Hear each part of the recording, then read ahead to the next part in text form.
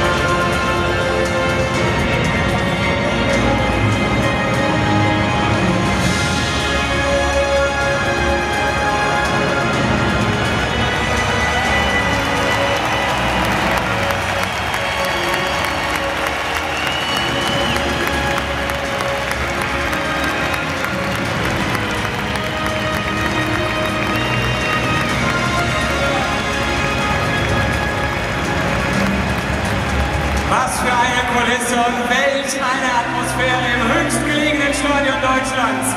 Liebe Fußballfreunde, hier sind die Teams des heutigen Abends. Unsere Gäste aus Paraguay und die deutsche Fußballnationalmannschaft.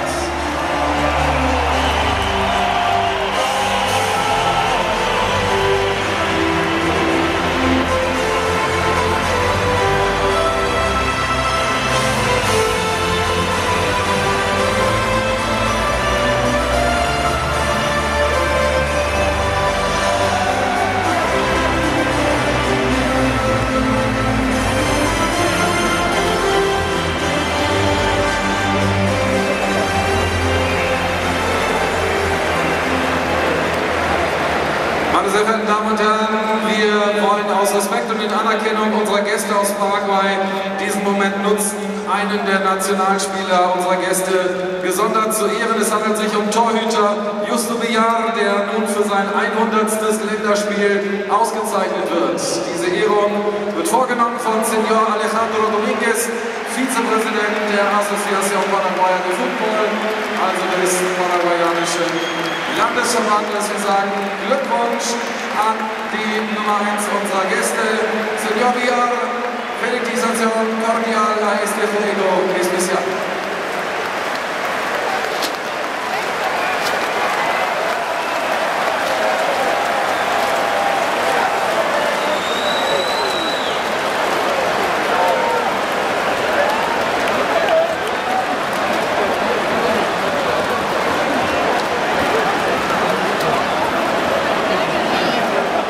Meine Damen und Herren, wenn ich mich im Stadion umschaue, so sehe ich, dass Sie schon alle stehen. Dennoch sage ich ganz förmlich, bitte heben Sie sich von Ihren Plätzen, denn es folgen die Nationalhymnen, gespielt vom Heeresmusikchor 300 unter Leitung von Oberstleutnant Robert Kuckertz.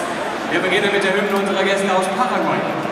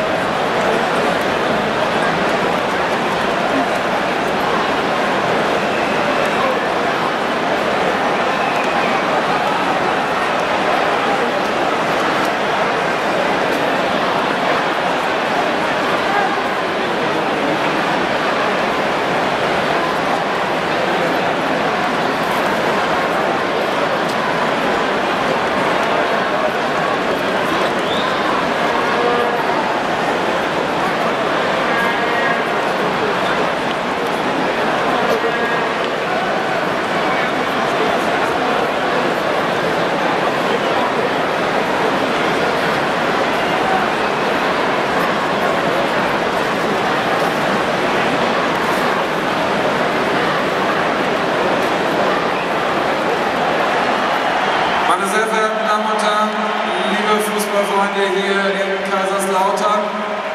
Ich darf Sie im Namen des DFB bitten, sich zu einer Gedenk- und Schweigeminute zu erheben.